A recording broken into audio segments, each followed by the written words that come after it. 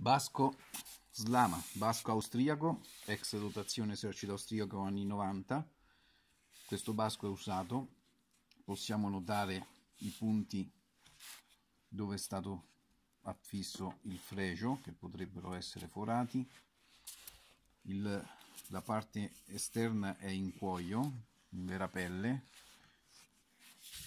ha due laccetti dietro per tirarlo, la parte superiore è 100% lana e all'interno abbiamo una fodera 50% cotone e 50% altre fibre.